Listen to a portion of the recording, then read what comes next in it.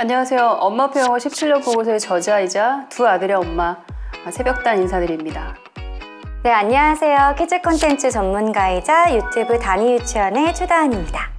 네, 안녕하세요. 초등생활 처방전 저자이자 5살 아들을 키우고 있는 워킹맘 이서윤입니다.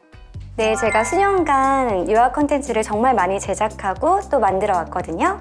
어, 아이들에게 어떻게 하면 더 유익한 것들을 줄 수 있을까 고민을 했고요. 제가 감수한 유아놀이 그리고 창의놀이 과정은요.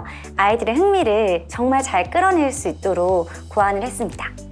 제가 엄마표 영어 관련한 줌 강연 그리고 유튜브 라방 클럽하우스 토론을 통해서 많은 엄마들의 실질적인 고민을 듣고 있어요. 엄마표 영어를 실천함에 있어서 어떤 점이 가장 어려운가 고민을 들어보니까 가장 힘든 것이 바로 꾸준히 그 영어 소리를 노출하는 것이었어요. 이것을 쉽게 할 수 있는 굉장히 좋은 방법 중에 하나가 바로 TV 버튼을 누르면 우리 아이 수준에 맞는 그런 컨텐츠들이 어, 꾸준히 나오면 그게 가능하거든요. 그런데 ZEM키즈 오늘의 학습이 바로 그런 컨텐츠를 제공하고 있어요. 편안하게 버튼 하나로 아이한테 영어 환경을 노출시켜 줄 수 있는 좋은 tool이죠.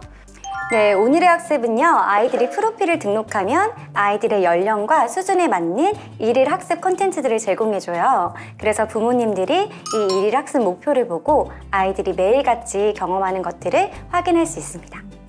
네, 오늘의 학습은 날마다 다섯 편의 영어 콘텐츠들을 실청할 수 있어요. 그런데 영어는 무엇보다도 반복이 중요한데요. 이전 학습 보기라는 기능을 통해서 예전에 봤던 영상물들을 반복해서 계속 볼 수 있어요. 그래서 영어 습득의 반복 효과를 누릴 수가 있습니다. 네, 오늘의 학습은요. 학습을 완료할 때마다 매일같이 칭찬 도장을 찍어주는데요. 이런 부분이 아이들에게 동기부여가 되는 것 같아요. 아이들은 작은 칭찬만으로도 아주 자존감이 튼튼해지거든요. 저는 이런 점이 굉장히 좋은 것 같습니다. 저는 습관의 힘을 믿어요. 아이에게 좋은 습관을 주는 것 참 중요하거든요.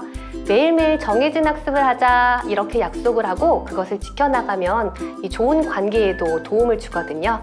지켰을 때는 칭찬도 듬뿍 주고요. 네, 지금 바로 프로필을 등록하고 오늘의 학습을 시작해 보세요.